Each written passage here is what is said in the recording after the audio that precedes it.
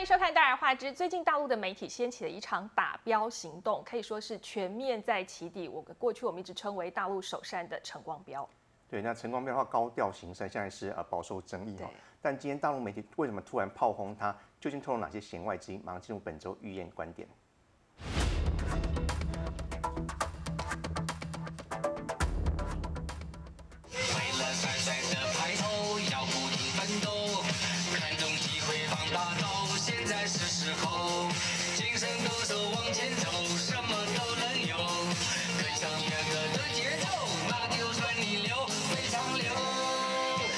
看错，他就是大陆首善陈光标。对比过去的照片，整个人瘦了一大圈。成功减肥后，再度亮相众人眼前的他，边唱边跳，让你快乐，让你瘦，洗脑神曲，号召肥胖族群加入减肥大军，也为自己推出的减肥产品当活招牌。彪哥是慈善家、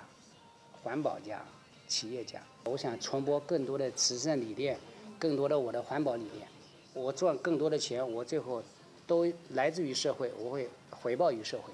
这彪哥说到都是会做到。陈光标过去高调救灾、捐款，甚至堆钱砖的行为，不仅成为镁光灯焦点，同时也引来褒贬不一的舆论声浪。不过最近首善彪哥似乎遇到麻烦，未来他的高调行善之路能不能继续走下去，引发各界关注。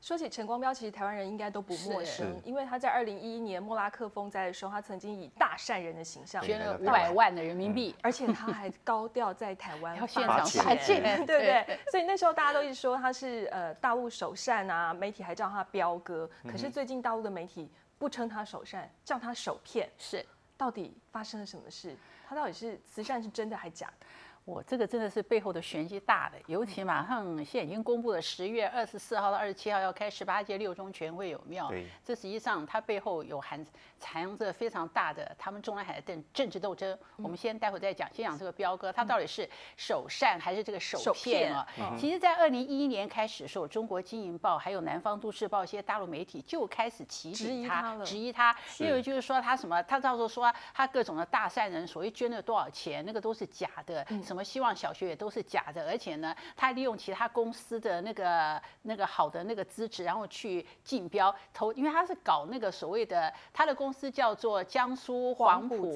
黄埔那个资源回收那个公司哦，实际上就是去做各种的工程，还有呢就是标人家，比如说废弃的电厂，然后呢呃，可是拆拆拆来这些废弃品，可是他都是标了以后啊，然后他再给人家。去拆他自己不做，所以二零一一年，但是其实也他很多的争议哦，但是他还是非常高调有没有？那就是到了那个二零一四年的时候呢，他八月的时候开始突然沉寂下来了。那因为二零一四年的年底呢，另计划。他这个落马，所以实际上彪哥哦，根据这一次的财新网就是他的起底，就是最主要讲说他跟令计划是有关系的。所以我们看这一次为什么从就是呃今年的九月二十号突然大陆的财新网，我们都知道我们两岸新闻界都知道财新网的背景，他是那个财经的那个他们那个呃传媒的这个传媒体的胡舒立，胡舒立跟谁很好呢？跟中共打贪的第一的王岐山，我们看只要像过去的周永康令计划，什么徐才厚要落马之前哦，都是财新网透露很多玄机。就在九月二十号的时候呢，财新网跟网易大陆网易网站先后发了，财新网就发了，就说这个陈陈光标是首善还是首骗，网易就怕他说他这个说他这个减肥哦，是因为那个把胃切的这个切除一部分之后缩小之后呢，减肥之后的陈光标呢说他这个业务瘫痪哦，然后这个债务缠身。然后到了二十，陈光标当然很生气了，二十四小时立刻反击，说他二十三号要开这个记者会，而且立刻呢向那个南京那边啊就递了要状告这个财新网诽谤，哎要诽谤。但是在二十一号的时候，财新网再接再厉，而且他们高调的表示说，记者花了一年的时间调查，五篇连续就揭秘陈光标啊来讲。那揭秘陈光标怎么讲呢？就讲他这个这其实这次打这个陈光标哦，我觉得好像又是有种。可以用个什么来形容？大炮打小蚊子，他们讲，因为他这个财经网的接底哦，就先从今年三月开始，这个南京那边警方侦办的，他的那个公司有没有？因为在二零一四年的时候，陈光标就传说他因为令计划的关系，所以令计划的案子，他随时要被传去问话，他要把他这个公司的法定代表人找找一个姓张的来这个代理，结果就在后来就这个两造说法不一。彪哥的说法是说，他主动跟警察去报案的，说员工跟他表示说，这个姓张的人呢，在公司里面未刻了一百七十枚的各种这种公章，所以不是他，不是他冒然后他让警察去抓。但另外一个说法是说呢，因为他跟这个姓张的彼此之间有嫌隙，这个姓张呢去保钢标个工程，可是只给彪哥百分之十二的利润，彪哥不高兴了，然后呢就说呃，而且就以这个姓张哦，他这个不付什么钱为由，把他的法定的法人的这个身份给摘。除了又让警察去办公室，结果警察要去抓这个姓张的时候，意外在他办公室发现了一百七十枚的印章。对，可是这只是个影子啦。就像泽宏你刚刚问我说，在大陆这个。柯印章有犯那么大的罪，假章对不对？哎，是没有那么大的罪。财新网以这个作为引子，就开始来起底他，说他这呢过去这么多年来，因为他说他彪哥自己讲，他从这个过去开始行善以来，捐了二十亿的人民币，结果这个财新网起底说只有两千万，然后呢又说他有这个二十几个，他的你看他的那他们的那个网站哦，那个江苏黄埔那个网站，他光是公共慈善头衔就二十二个，他现在唯一可以确认的头衔。他是江苏的政协委员，还有这个海峡两岸基金会，我们一直都以为是海峡交流基金会，海峡两岸基金的副会长。然后又说，就是他这个假标，这个包下来标工程之后，又包给这个别人，所以把他整个整个的，就是说，总之就是说，他行善是假的哦。实际上这个人，而且还有假造学历啊。然后包括他这个这一次所谓，他声称说他是真正瘦身成功，因为这个网易起底，他就说呢，因为他现在那个回。呃，那个回收这个事业哦，已经遇到瓶颈，已经那个负了很多债，所以他现在转行卖什么健康食品，叫做天启源，还有什么呃好茶，好人好事那种一种茶哦，所以就是说，就讲他说他这么是假的，那彪哥很生气啊，就要控告说，而且甚至说我可以找记者来看，我掀我衣服给你看，他说看他有没有那个我没有刀疤。结果还没掀呢，人家网上就露出来，人家都准备好，他去年就是在那家医院要做之的那个手术这个服哦，所以因为种种这整个加在这个一起，但是呢，财新网这次起底彪哥啊，他的这个大的长篇报道的最后最讲是什么？说原来他的发迹哦，都是在二零零六年的时候，他透过关系老干部先认识了这个令政策，然后介绍认识了立计立计划，立计划那时候如日中天，有没有？然后另计划为什么也对彪哥产生兴趣？他觉得说，嗯，我看这个彪哥能言善道，他真的很会制造话题，我们不可否认嘛。很懂得行销，很懂得行销自己，能言善道就要把他塑造成一个活雷锋。那他真正被大家认为说所谓的中国首善这个名字，就是零八年的汶川地震，对吗？汶川地震现在一直被被被集体说原来他是假造，因为他说汶川地震他千里驰援，他从江苏调了多少台的大机具哦，然后呢赶到这个成都，赶到这个四川哦。他亲自呢带着人去这个救人，他说光是他们救出来的就就是说，当然还有死的，就六千多个。结果后来被集体说呢，原来当时啊，他那个陈光标的公司正好有人在四川，还不晓得利用这个机会是另计划提点他。然后呢，他那个机具呢也是从成都十几台，没有是从那个江苏哎租的过来的。但是因为那个呢，还有叫我中国首善，那个时候国务院总理温家宝还称赞他。然后二零一零年的青海玉树地震有没有？他也是去第一次跑到个现场捐了这个很多钱。后来的也是落马的山西的女商人金淑苗说，那个钱都是这个他的。但是财新网这篇其实它主要讲什么？就是讲说，原来你陈光标的能够这么样的风风火火，因为是另计划来给你撑腰。而且说撑腰到呢，哦，就他举出了财新网举出了五个人，我觉得很有意思。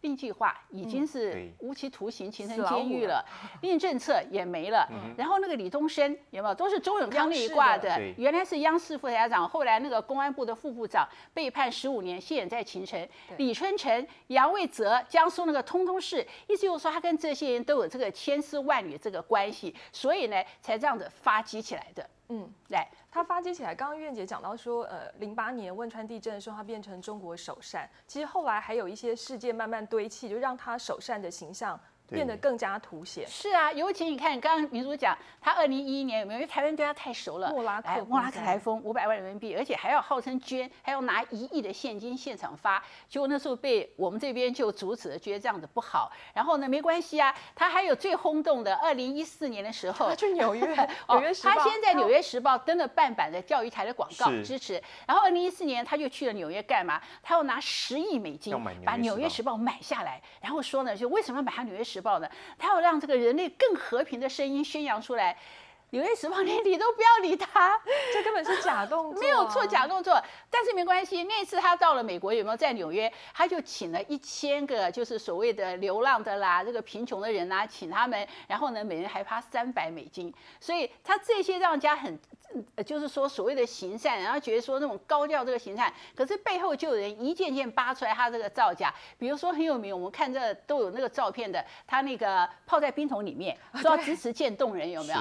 就后来被发现说原来那个桶有玄机，待三十分钟，他桶的那个下面是夹层，它上面是冰没有错，下面是热的，等于说那个那个水是温的，他那个冰桶待在其实是泡在温水里面。是对，然后就是说后来就是说他结识这些像李东升这些权贵的这个人呢，他甚至他原来是做这个资源回收嘛，然后这个又这个建筑物的拆除的，他竟然就可以他的公司扩大到又是做广告啦、广告版的这个营业啦，还有电脑产品啦，然后他竟然可以包到。中南海里面的工程哦，中央办公厅的哈，还有央视那个新楼的北楼的那个墙的那个拆的，中共建政六十年长安大街的那个那个要整修的拆的工程都是他，而且他自己因为他很高叫嘛，中央文献出版社出版他的他的那个书，他自己都这么讲。然后所以就是说我刚刚讲了，二零一一年大家一直就起底他，就是他这其实各方面通通是吹牛的都有问题，他就是因为靠利益化。来扶持他的，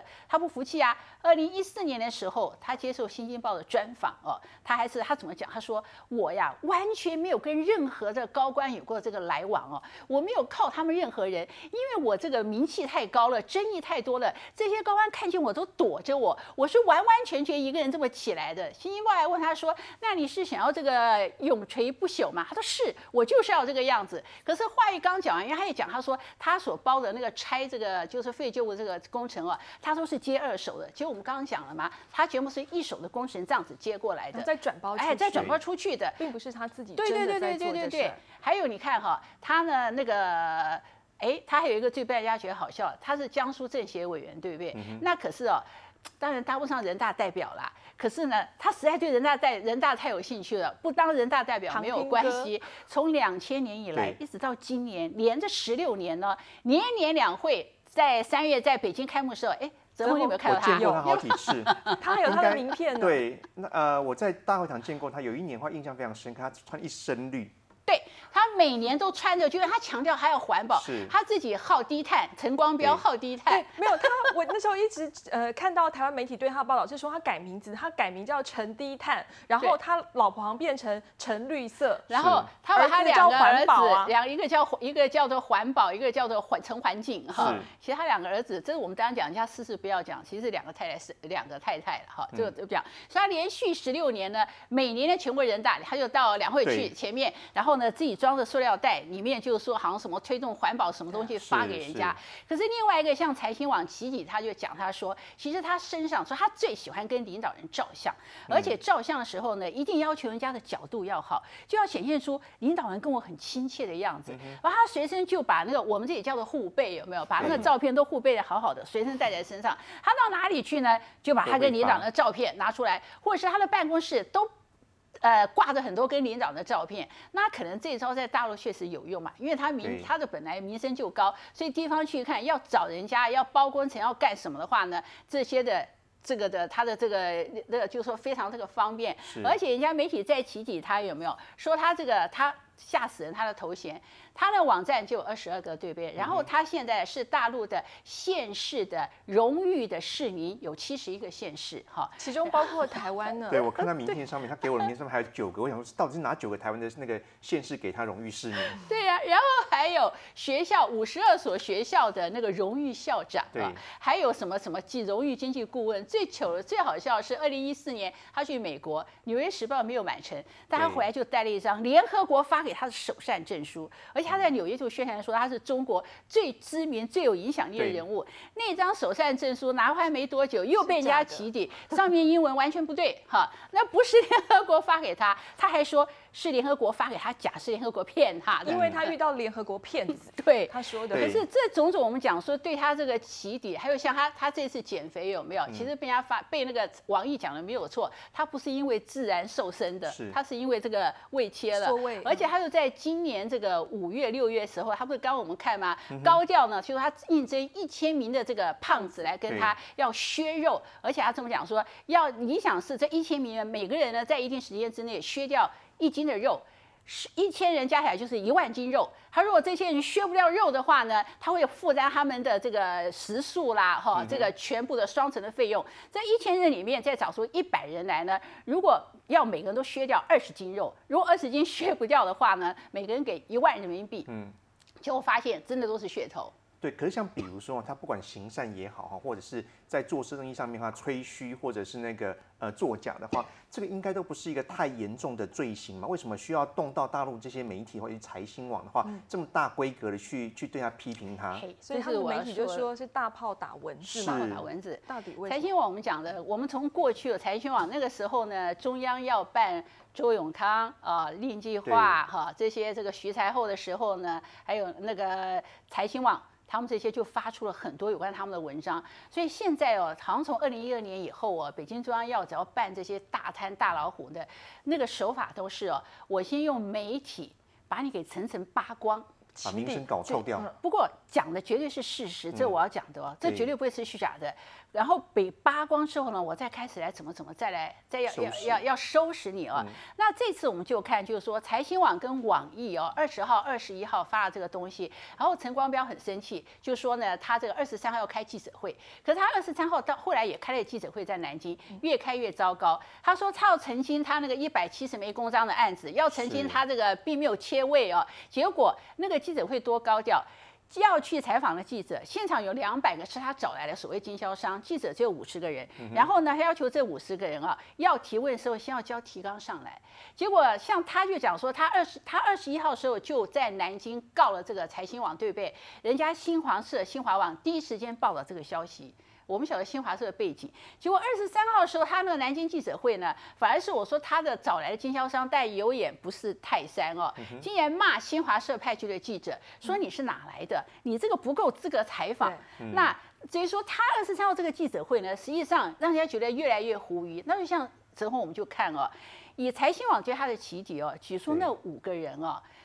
现在都已经判刑了嘛？对啊。那为什么？因为你说，因为要这样子，应计划已经倒了，为什么还要再打这个，还要再打这个彪哥呢？这中间又有另外一个玄机，说那是真正的目的所在。就在二十一号的时候，大陆网络莫名其妙，我看是新浪网。出现了一张合照的照片，有没有？上面是 陈光标跟他的太太张婷，然后呢站的是那个令计划，我们都知道。最有意思是在令计划旁边的那一位是现在的中共国家的副主席李元朝。莫名其妙这张照片，可是后来哦，因为这个大陆另外有起底的，就说觉得这张照片是酷手的。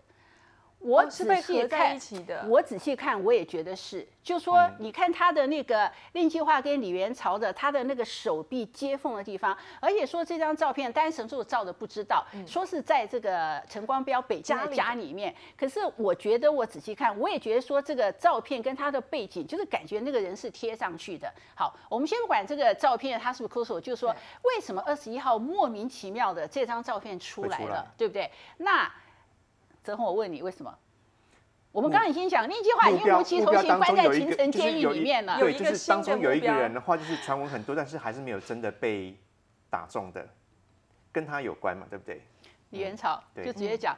其实从今年以来哦，那个因为。这这张照片其实主要想要说什么呢？说李元朝跟令计划的关系，公司方面都非比寻常。主要要讲这一个。令计划现在虽然他已经无期徒刑进了秦城监狱了，但是呢，老实讲，令计划的周边他有很多的事情，因为他的弟弟跑到美国去，北京中央不得不跟他这个妥协。然后从今年以来，我想有关李元朝的传闻负面就很多，有没有？一下子说他被抓了啦，一下子说他被双规了啦，哈，一下子说他失事了。但是过一阵子他又会出来。根据我的了解哦，就是。再就是北京中央准备对令计划动手，还有那时候周永康的时候，因为周永康现在两个都进秦城监狱了，确实他们两个当时其实，在十二大、二零一二大之前、二零一二十八大之前之后呢，他们确实是想要就又有一个计划，然后拉帮结派呢，想要把咱们习大大给搞下来。那据说就是说，现在这些人都都都已经搞定了。对。可是呢，据说呢，呃，李元朝。就是令计划，他想要拉李元朝进来，然后呢有这么一份计划名单。所以为什么今年以来哦，这个三不五时都有李元朝的负面的消息传出来呢？而且这一次呢，这么财新网高调说用了一年的时间来来打陈光标，这个就叫做隔一阵子哦，叫敲山。打虎一下还不是正虎，当然那个虎不是那个蚊子陈光标，我们看也不是 已经变的老虎，也不是进了监狱的这个令计划哦。那至于是谁隔一阵子叫敲山打一下这个这个李元朝呢？我想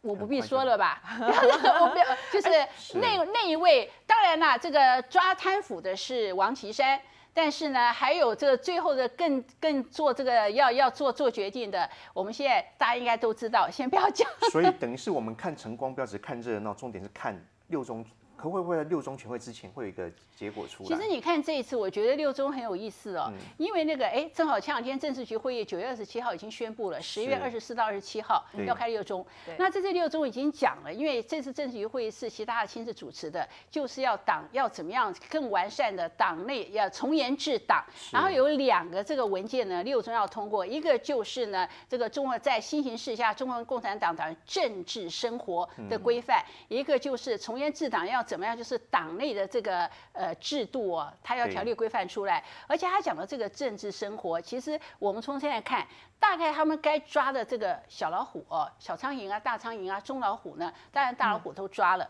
所以这次这个党员纪律的，我那天看一下九二七的政治局会议这个官方发的稿子，它有很大程度是要针对高官。对，来做这个政治纪律规范。那现在其实可以数数数得出来，就是说呢，目前的这个政治局里面的话，哪些需要纪律规范？那其实我们看这个十月二十四到二十七号举行的这个六中哦，因为这次政治局会议，哎，有一点倒是他并没有讲说。这一次会议还讨论了其他事项，嗯，究竟什么事项？这个又有玄机。因为每次如果讨论其他事项的话，绝对跟人事有关系啊，是谁要上谁要下的。那现在就看六中呢，他会不会有六中二十七号？公报出来的时候，他有没有讲说讨论其他事项？但是这个说这样，这个更显示说我们这一阵子来一直讲的，从这个天津的市委书记，还有那个辽宁的贪腐案有没有，到这一次的这个陈光标莫名其妙的被打得稀里哗啦的话呢？还是他最主要着眼在十九大之前他的高层的人事的这个部署？对，嗯，就是呃反贪廉洁。这件事情要持续下去，反贪廉洁当然是要持续，但是借由反贪廉洁呢，我们讲了就是说，呃，我抓到你，你如果没有贪腐，当然没话讲了，我要怎么抓你都没有办法。可是如果你真的有贪腐的话呢，你又牵扯上了政治的这个因素的话呢，就看我要不要这个打你了。所以我们可以拭目以待，看看是不是真的会有下一只，真的是有意思。好，我们来回答网友的提问。网友问说，陈光标喜欢发领导人合照，这一招在大陆经商有多？大用途呢？真的有用。